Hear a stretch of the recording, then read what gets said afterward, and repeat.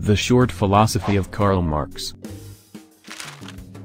In 1845, Karl Marx declared, Philosophers have only interpreted the world in various ways, the point is to change it.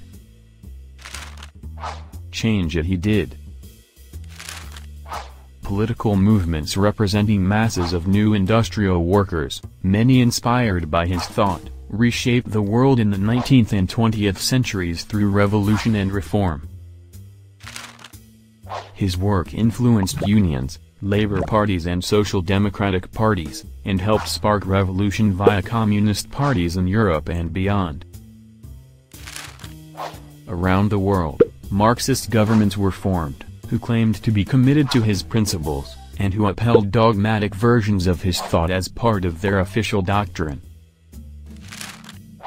Marx's thought was groundbreaking. It came to stimulate arguments in every major language, in philosophy, history, politics and economics.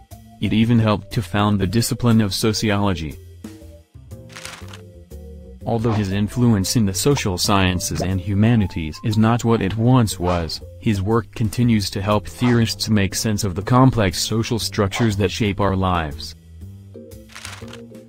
The Communist Manifesto, written by Karl Marx and Friedrich Engels in 1848, is one of the most widely taught texts in sociology. For sociology students, the text is a useful primer on Marx's critique of capitalism, but it can be a challenging read for those outside this field of study.